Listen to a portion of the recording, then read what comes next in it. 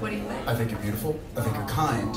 I think you're a good person, and I really am happy that I was paired up with you tonight. So, thank you guys for, for doing that, and thank you for existing. Oh my god. Can you both just stand up quickly and say something to each other?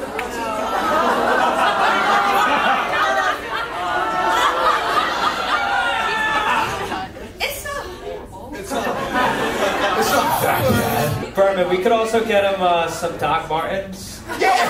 that, that is true. You can throw on Doc Martens. You get I'm six, also- six foot two with those on. I wear heels a lot. When I put four inch heels on, like I'm like what, like six three, I think. I don't care.